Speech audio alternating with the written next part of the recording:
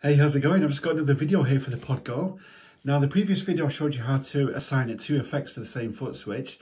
In this next video, I've got a guy that asked me how you uh, turn an effect on at the same time as turning one off. So I'm happy to oblige and show you how you do that. So what you do, you do the same thing as before in terms of assigning two effects to the same switch.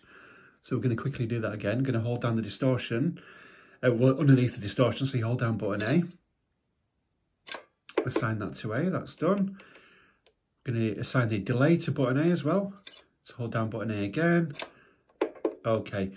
Now, while the foot switch is not illuminated, you just need to use this top dial and hold down one of the two effects. So if you hold down that top dial, it turns the delay on and you can see that the distortion is off. Now, as these are both assigned to the same pedal, it means that when you hit the pedal, it's going to turn one off at the same time as turning one on.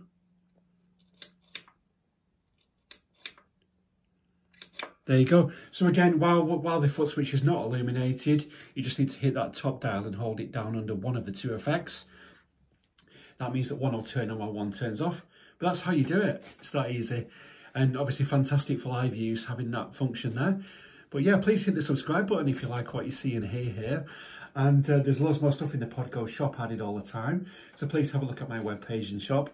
And thank you for listening. Have a fantastic day and take care of yourself. Thank you. Bye-bye.